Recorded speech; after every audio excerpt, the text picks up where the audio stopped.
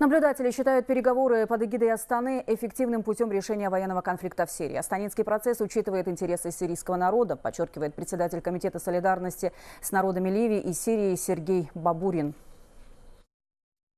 Астана – одна из наиболее эффективных сегодня точек по э, снижению накала страстей на Ближнем Востоке и по поиску компромиссов в сирийском урегулировании с учетом, собственно, интересов э, народа Сирии.